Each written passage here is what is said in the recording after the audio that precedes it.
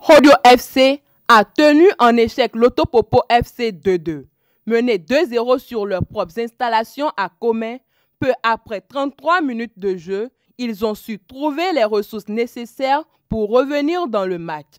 22e minute, le latéral droit Rodrigue Fassinou se mue en renard des surfaces et ouvre le score pour l'Auto.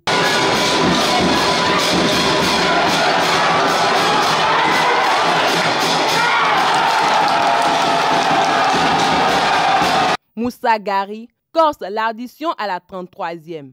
Six minutes plus tard, Joël Rodonou réduit le score.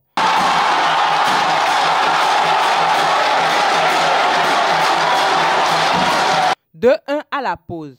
En seconde période, les Lotto Boys relâchent. Les Come Boys multiplient les assauts sur les buts de Batori Douyeme. À la 85e, ils égalisent grâce à Arsène Zinsou sur cette rentrée de touche.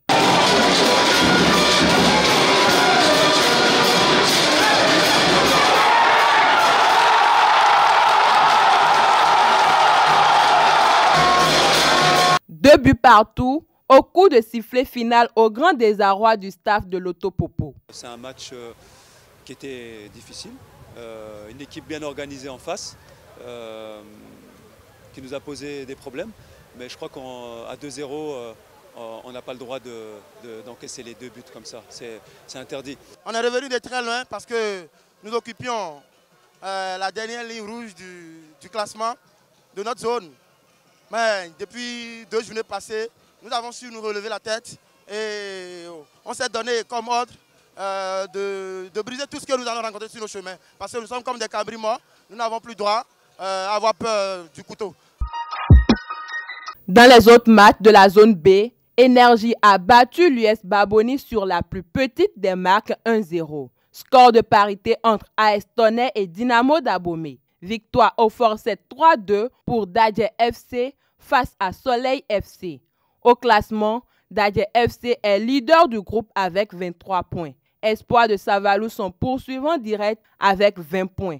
Rodio FC et l'US Baboni siègent au bas du classement. AS Police n'a plus gagné un match depuis la quatrième journée. Face à Requin, les policiers enregistrent le septième match consécutif sans victoire. Cinq défaites et deux nuls.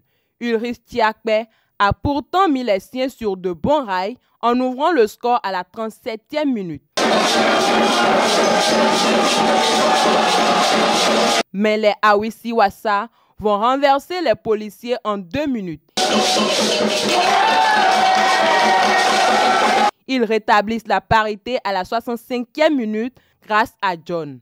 Deux minutes plus tard, Clément Adaï donne un avantage définitif aux requins. On menait au score, on a été solide en première mi-temps, mais en deuxième mi-temps, ça n'a pas marché, ils ont égalisé, puis voilà une défaite. On va aller apprendre encore, revenir encore en force pour gagner le prochain match contre les militaires d'Adidja. Éternel FC et Aspac se sont neutralisés un but partout dans le duel de prétendants à la Super League Pro. Un joueur s'est illustré lors de la rencontre. Le défenseur d'Éternel, Madoché Nkessan, a marqué contre son camp pour offrir l'avantage aux Portugais juste après l'entame de la seconde mi-temps.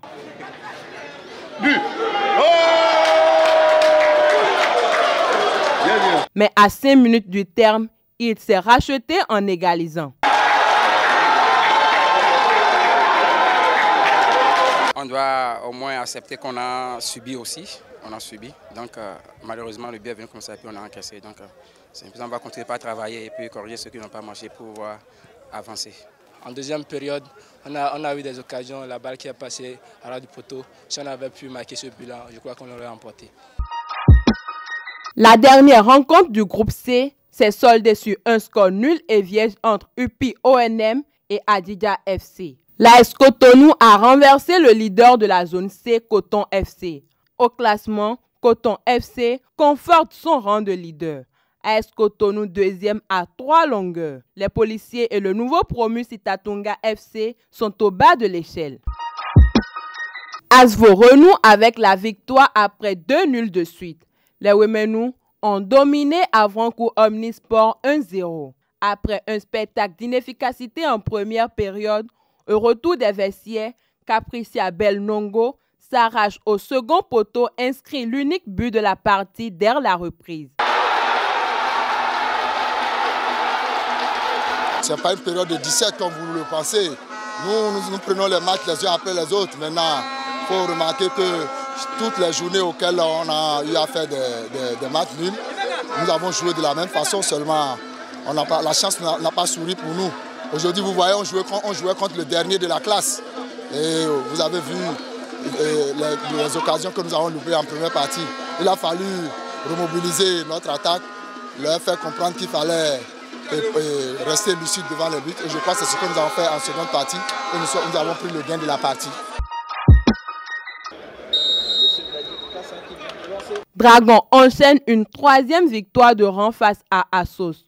L'ouverture du score est venue à la 30e minute par l'intermédiaire de Alamine Adeni. Akintola marque le but du break à la 75e minute. Dans les autres rencontres, Tchefa FC a tenu tête au leader du groupe. Score final 0-0. La Jacques a largement dominé la JSP 3 buts à 1. Au classement, Aima FC est premier du groupe et Asvo deuxième. Tchefa FC et Avranco Omnisport sont respectivement 8e et 9e. Enfin, dans la zone A, Dynamo de Parakou et Beke FC ont été contraints au partage des points 1-1. Même scénario entre Real Sport et les Buffs du Borgou 2-2. Score nul et vierge 0-0 entre Panthère FC et Damissa FC. 1-0 entre US Cavalier et Dynamique FC. Au classement, Buff FC règne en patron. Beke FC sont poursuivants directs. Real Sport et Dynamique FC,